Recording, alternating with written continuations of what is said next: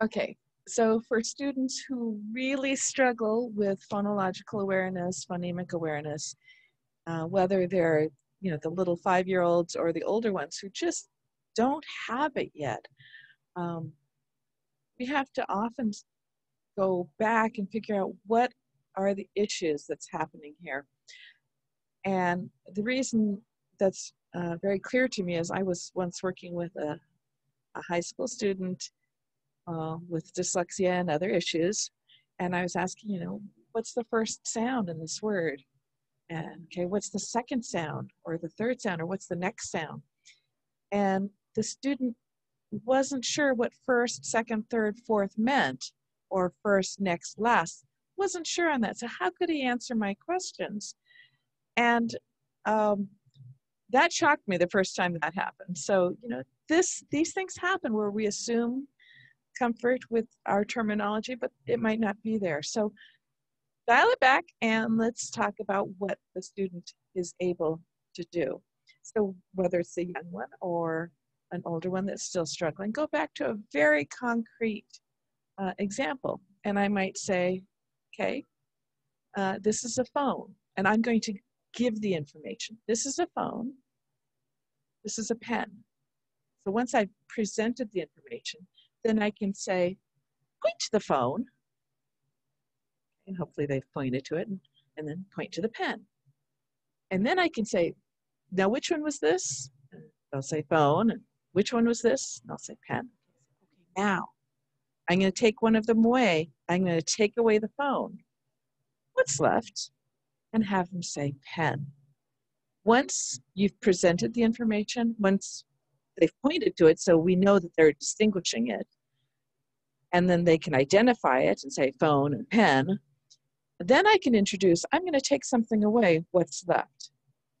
But I had to make sure that the other processes were secure before I can say, I'm going to take one away, what's left. And so do that with a couple of very, make sure we're secure on that with a couple of very concrete objects. Then we can go into the more abstract if we know we're good with the concrete. So let me show you um, uh, this. So this is my Jamboard. And I'm, I will do the same thing. I'll say, okay, this one's a cup. This one's a cake. Okay, and then, you know, if I want to let them do it, I can ask them to draw it I'll say point to the cup or make a mark under the cup or make a mark under the cake. And then I can say, now, which one is this? They can say cup and I can say, which one is this? And they can say cake. And then I can take something away. So what I forgot to start with is whenever, just good practices, whenever I'm working with a uh, Jamboard, the first thing I do before I do anything else is make a copy. Just good practice. Make a copy because when we mess it up, when we delete things, we want to have a copy.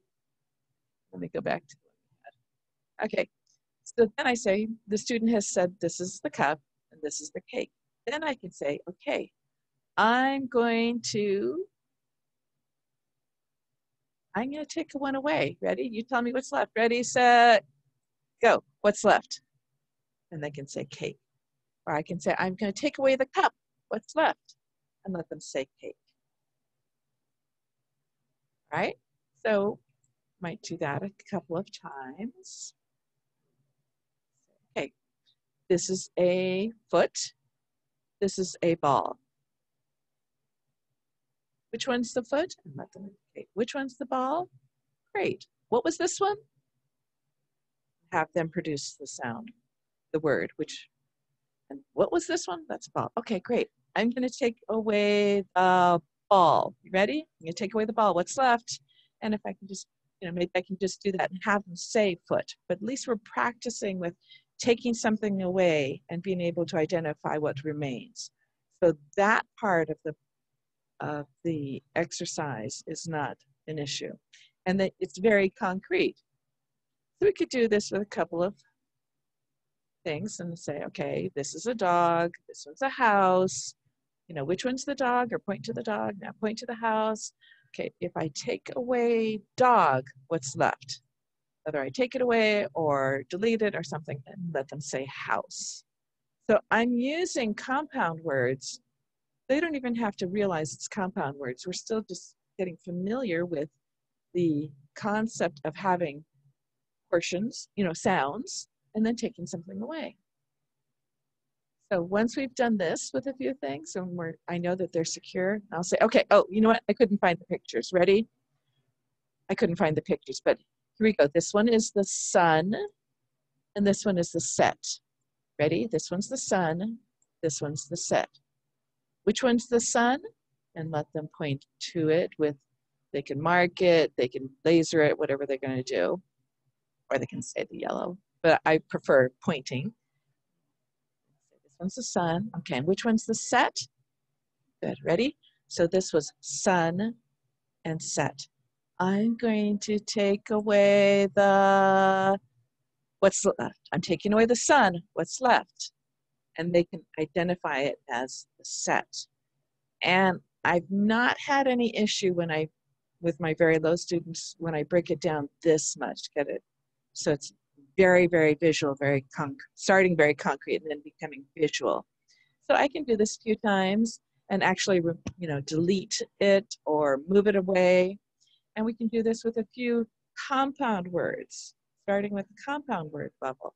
And say, okay, ready? I didn't have a picture, but this one's the book, and this one's a case.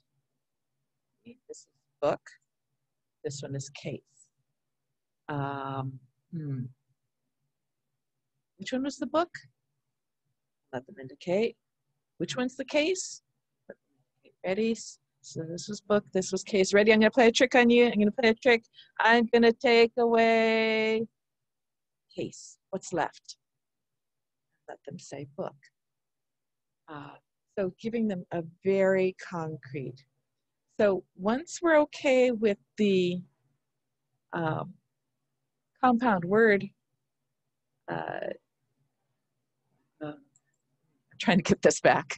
Once we're okay with the compound word, I might go back and just do, okay, ready? I'm just gonna use my hands and say, okay, so now this one is, hmm, let me think of another word. This one is mail. This one is box. This one's mail. This one's box. Ready? Uh, which one was the mail? Which one's the box? Ready? So what was this one? And what was this one? Okay. Ready? So I'm gonna put a trick on you. Mail box. I'm gonna take one away. Watch this. Hmm. What's left? And have them say box. So going from something very concrete to a pictorial reference to just the manipulatives to something just as simple as my hands still gives them this uh, and have them work at this level for a while.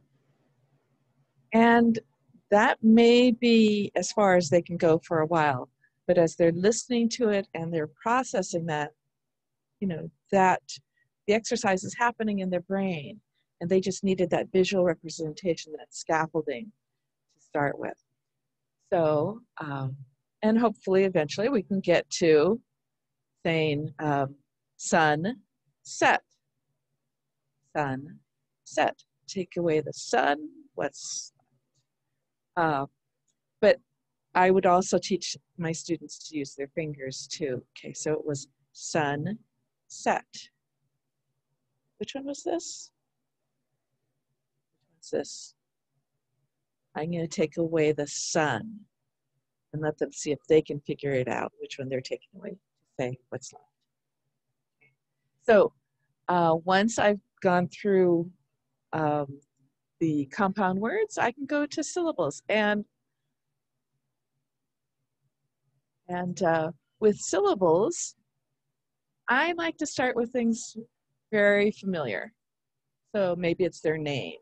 And because a lot of students, even very young students, have been writing their name so if it's a two syllable name, that's easiest. If it's not, I, I'll go to, uh, uh, you know, my, you know, laid law or whatever, but they haven't seen my name in writing, so that's less meaningful. So, you know, if they're friends' names, I'll find one someone close to them with the two syllables, and then we'll go by by their syllables. Ready? So this, you know, this is together. This is Susie. Yes, Susie, I've got your name here. Ready? But I'm going to split it up. This one is Susie and have show it Susie. Ready? What was this part? What was this part? So after, if I know, feel I no longer need to have them point, because the next step would be to point. So after you've introduced, you could point and then ask for the response. If we're solid on that, you know, we take the scaffolding away. If we're not, I still have to have them point. Point to the Sue, point to the Z, okay. And if we're solid, then it's like, okay, which one was this? Which one is this? Okay, now I'm gonna take one away. Ready? I'm going to take away this one. What's left?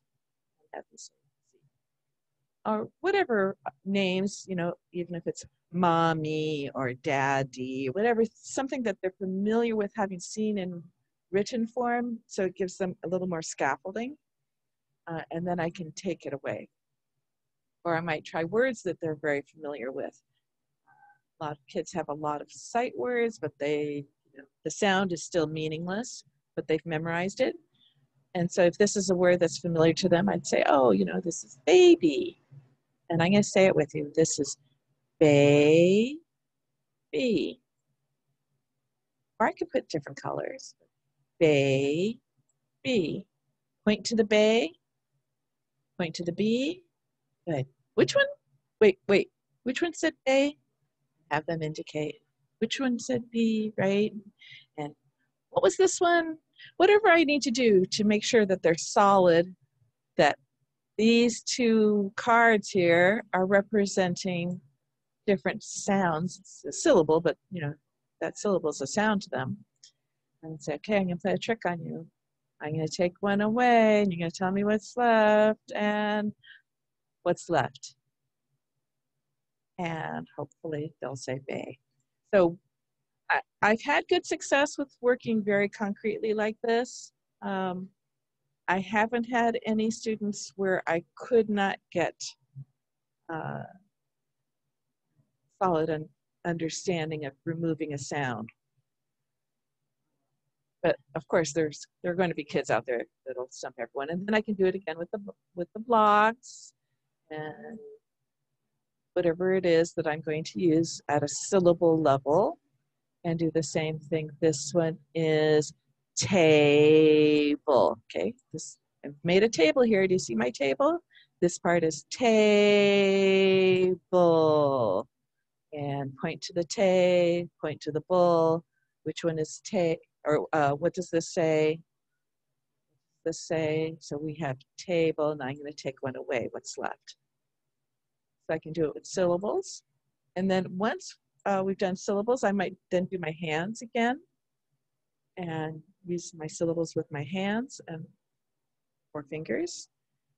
And eventually, I would go to individual phonemes working the same way with words that they know and familiar with. So this is no. Okay, so this says no, no, and have them point to the N, have them point to the O, whatever. I and I don't really care if they know it's an open syllable, blah blah blah. They've probably memorized this word, and whatever it is we're doing, we're still at this level. We are going to reinforce that these symbols represent sounds. Okay, so going through the show it to them, have them show it to you, have them produce the sounds, and then take one away. Uh, so uh, I might do this for a couple of words and then have them then go back to using hands. Or for sounds, I tend to use my fingers. And as the teacher, I will mirror. So it's for me going this way, which for me is backwards, but for them it would look right. And um, or if I use my right hand, which is on the left, I will still go in order. Uh, but when we get down to the sounds, they're often able to then put a sound on each finger and um, then be able to isolate or remove. So I just had a little eight-year-old uh, non-meter and no phonemic awareness. It was, or phonological, it was just awful, nothing.